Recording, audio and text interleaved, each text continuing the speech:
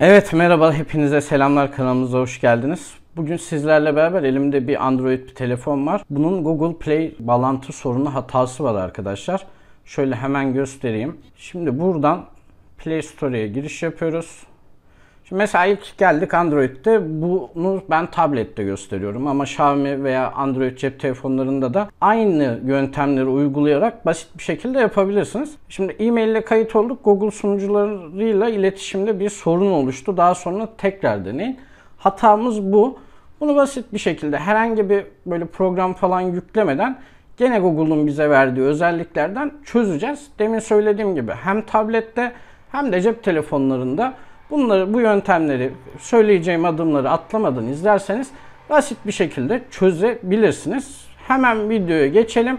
Ama videoya geçmeden önce ufak bir jenerik sonra video.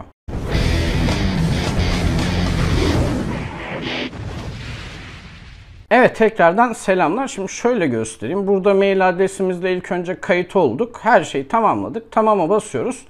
Bakın oturum açılmadı. Google sunucularıyla iletişimde bir sorun oluştu.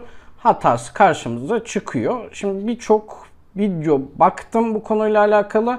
Aslında videolarda program vesaire yükleyin diyor. Program vesaire yüklemeyeceğiz. Şimdi bu sorunu ilk önce çözmemiz için bize ne gerekiyor? Bir internete şöyle göstereyim. Wi-Fi ile cep telefonumuzun veya tabletimizin Wi-Fi'ye yani internete bağlı olması gerekiyor arkadaşlar. Şimdi ilk önce şöyle yapıyoruz. Google'a bir giriş yapıyoruz. Umarım video iyi bir şekilde gözüküyordur. Evet çok kötü değil. Şimdi Google'a giriş yaptıktan sonra tarayıcımız veya Chrome üzerinden Google'a giriş yaptık. Şöyle EBA'ya girdi. Şimdi burada ROM falanla alakası yok. Tabletlerimiz veya telefonlarımız eski olduğu zaman veya işte komple işte hard format diyorlar işte tekrardan böyle format attığınız zaman bu sorunla karşılaşabiliyorsunuz. Bu tablet bir iki senenin öncesinin tableti ve içerisindeki ilk kurulu olan Google servisleri bunu yani algılamıyor ve Play Store güncel olmadığı için o yüzden bu hatayı veriyor. Aynı şekilde yani tablette de bu şekilde cep telefonunda da onu söyleyeyim. Şimdi Google'a giriş yaptıktan sonra Google'a şunları yazıyoruz. Ben gene alta bu gireceğim internet sitesinin falan linkini yorumlar kısmına, açıklama kısmında yazacağım arkadaşlar. Şimdi Google, şimdi Google Play Service APK yazıyoruz. Demin söylediğim gibi e, ben bunun şeylerini vereceğim altta. Şimdi şurada apkpure.com Buna girdik ve tıklıyoruz. Bu direkt açıldı. Burada indir falan diyor. Şunlar reklam. Şöyle aşağı doğru girelim. APK indir vesaire yazıyor. Şuradan buna tıklıyorum.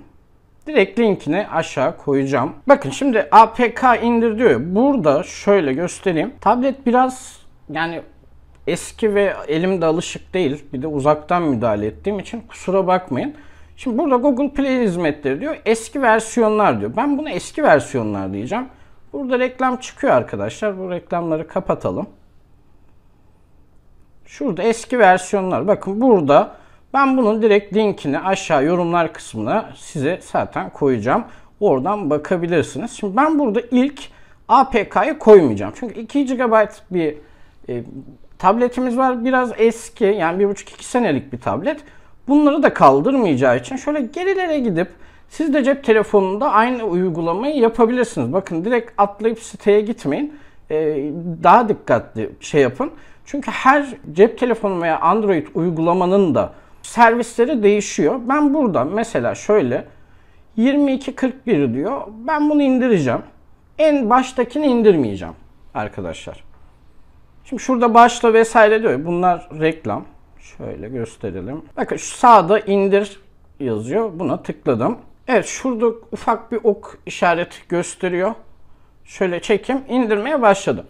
Şimdi deneme yanılma yöntemiyle bu şekilde Google'un kendi yöntemiyle tabletimize veya cep telefonumuza bu APK'yı indirdiğimiz zaman, kurduğumuz zaman Google Play Store yani Google Market açılıyor. Ondan sonra istediğiniz WhatsApp uygulamalarını vesaire kurabilirsiniz. Ama demin söylediğim gibi birkaç video baktım YouTube'dan. Onları kurmanızı kesinlikle tavsiye etmiyorum.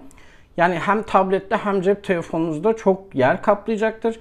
Aynı zamanda da o tarz uygulamalar iyi olmayacaktır. Şimdi indirilenlere gideceğiz arkadaşlar. Siteden bir çıkalım şöyle. Tekrar menüye geldik. Bakın dosya açılmadı. Bu değil. O zaman tekrardan aynı yere gidiyorum. Şunu tıklayacağım ve bunu indireceğim. Yani bu deneme yanılma yöntemi demin söylediğim gibi bu arkadaşlar ama kesin çözümü de bu. Hiç merak etmeyin. Yapacağız yani. Kesinlikle yapacağız. Evet şimdi indirilenlerden kurduk ve Play Store'ye gireceğiz arkadaşlar. Bakalım giriyor mu? Evet direkt Play Store'ye ben yani direkt girdim. O bölümü de kestim. Tekrardan sizden şifre istiyor. Şöyle. Evet tekrardan Gmail ve o hatayı görüyorsunuz almadık. Tekrardan o kurduğumuz APK'yı yükledikten sonra e, sorun çözülüyor. Herhangi bir sizden şey yapmıyor ama tabi şifre ve mail tarafı e, tekrardan burada istiyor. Tekrardan girmeniz gerekiyor. O hatayı almıyorsunuz ve direkt gördüğünüz gibi e, şu an Play Store'imiz çalışıyor. Ben şöyle söyleyeyim. Bunun için sizin için aşağıya bir link koyacağım. Tek tek öyle uğraşmanıza gerek kalmayacak. Yani benim yaptığım gibi demin ben biraz uğraştım açıkçası. Ben size bir link koyacağım. O linkte direkt o şuradaki siteye gideceksiniz. Evet deminki girdiğimiz şu APK Pro direkt böyle o bütün sürümlerini görüp basit bir şekilde yükleyebileceksiniz. Herhangi bir problem olmayacak. Bu servis muhabbetini yükledikten sonra sorun zaten çözülüyor. Şimdi bir de burada Google Play'den abi niye yüklemedin derseniz buradan da isterseniz yükleyebilirsiniz. Ama işte tarayıcı burada seçiniz vesaire diyor ya. Burada tekrardan o Gmail hesabınıza giriş yapmanız lazım. Sizi Play Store'ye e, yönlendiriyor. O yüzden olmuyor. Ondan yaptım.